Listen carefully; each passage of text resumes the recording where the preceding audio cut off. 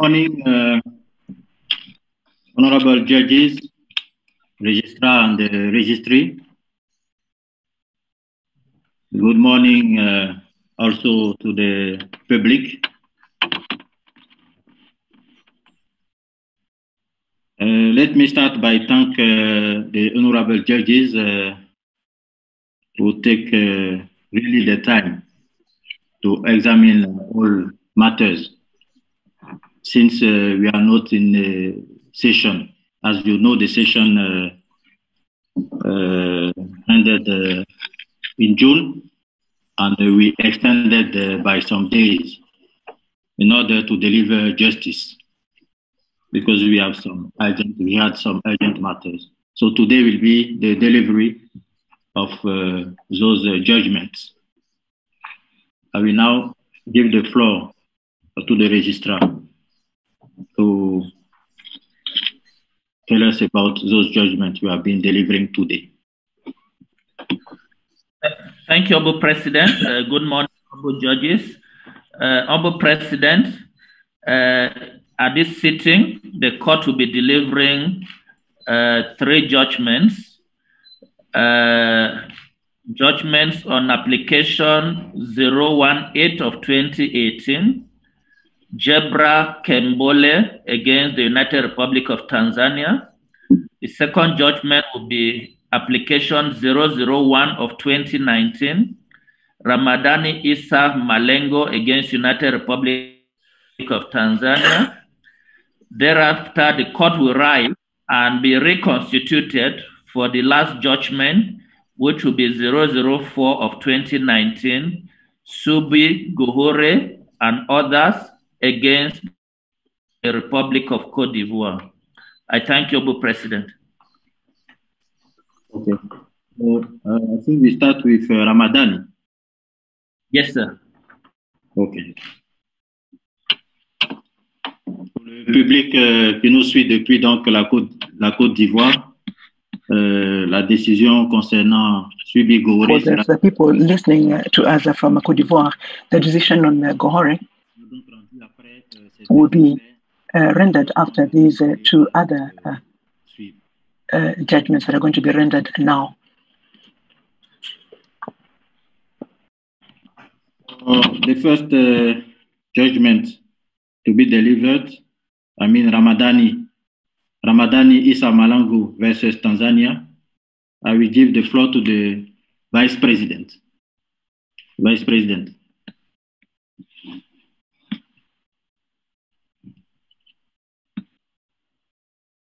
Microphone, Vice President. Yeah, uh, thank you, Mr. President and honorable colleagues. This is the judgment of the court in application for review number 001 2019 in the matter of Ramadan Issa Malengo versus the United Republic of Tanzania. The court composed of Sylvain Ore, President, Ben Kioko, Vice President, Rafaâ Ben Achour, Angelo B. Matusse, Suzanne Mengue, M. Teresa Mukamulisa, Tujilane R. Chizumila, Shafika Ben Saula, Blaise Tchikaya, Stella I. Anukam, judges, and Robert Eno, registrar. In accordance with Article 22 of the Protocol to the African Charter on Human and People's Rights, on the establishment of an African Court on Human and People's Rights, and Rule, and, and Rule 8.2 of the Rules of Court, Just, Justice Imani D. Aboud, member of the court and a national of Tanzania, did not hear the application.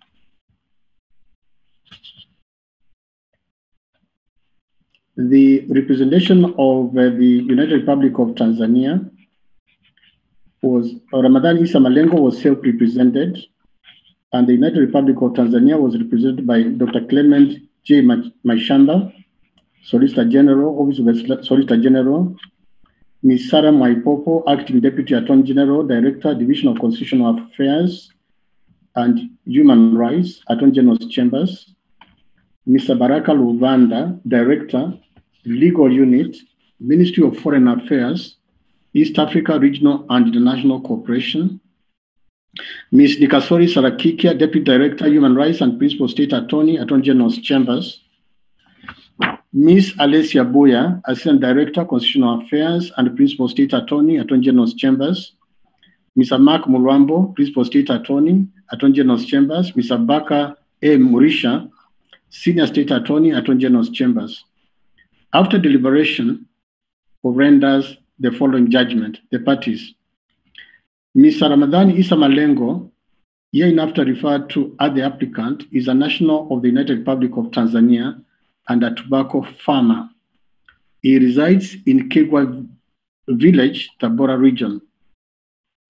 The application is filed against the United Republic of Tanzania, which became party to the African Charter on Human and People's Rights on 21 October 1986 and to the protocol on 10 February 2006.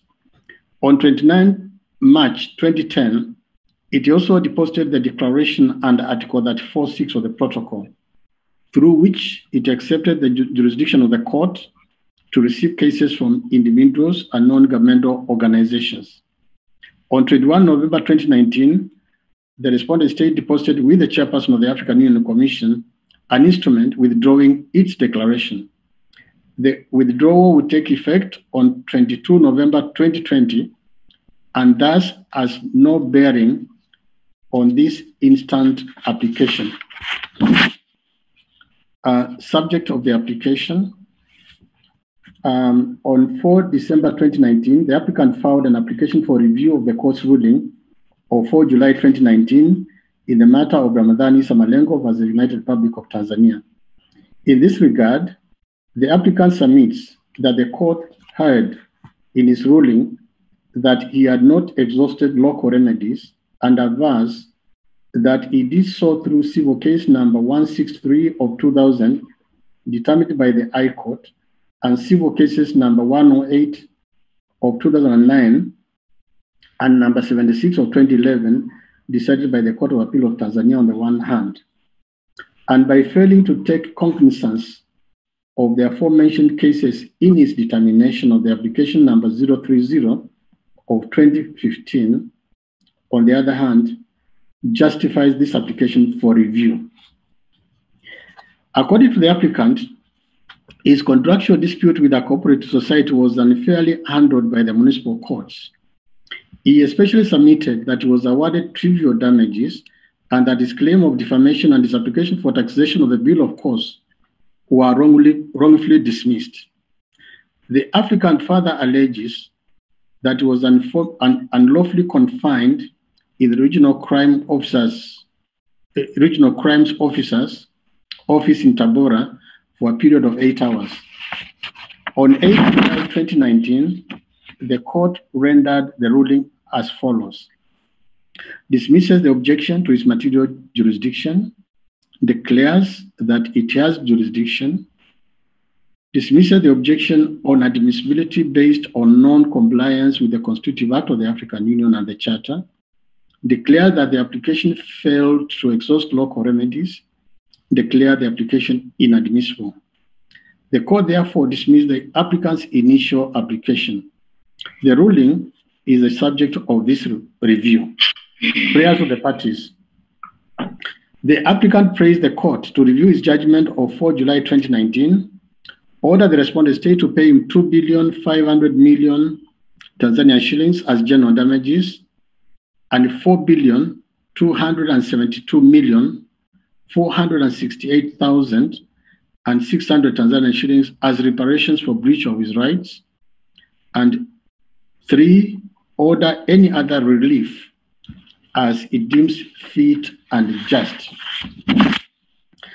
The respondent state praised the court to declare this application for review inadmissible and dismiss it in its entirety. Jurisdiction. Um, the court is required to, to conduct a preliminary examination of its jurisdiction pursuant to Article 3 and 5 of the protocol. And in the instant case, the court notes that the application fulfills the requirements of Rule 26.1 of the rules and is based on the review as it is based on the review of the court's own judgment in light of alleged new evidence, and thus finds that it has jurisdiction. On admissibility, as regards the filing of the application within six months of the discovery of new evidence, the court notes that the applicant did not submit on when he discovered the alleged new evidence. Nevertheless, the application having been filed on 4 December 2019, that is five months after the delivery of the ruling of 4 July 2019, is deemed to have been filed within the six months time limit and in accordance with Rule 67.1 of the rules. The court notes that the applicant merely restates some allegations which the court had already examined in his ruling. Also, he advances detailed submissions which stem from the same factual basis and which only seeks to substantiate the previous allegations in the initial application. With respect to the inadequate representation and the financial difficulties of the applicant allegedly caused by the breach of contract, the court observes that they were not brought forth to the attention of the court at the time of delivery of the ruling. Moreover, they do not constitute new evidence that would not have been in the foreknowledge of the applicant at the time of delivery of the ruling, and as such, the applicant should have argued the same before the court's delivery of its ruling. Even so, the said information has no bearing on the court's ruling that the applicant failed to exhaust local remedies. Therefore, the court declares the application for review inadmissible and dismisses it. Costs. The parties did not make any submissions on costs. The court therefore rules that each party should bear its own costs. Operative part. For these reasons, the court unanimously declares that it has jurisdiction, declares that the application was filed within the prescribed time limit of six months, declares that the supporting documents submitted by the applicant do not constitute new evidence, declares that the application for review of the ruling of 4 July 2019 is inadmissible and is dismissed, decides that each party shall bear its own costs.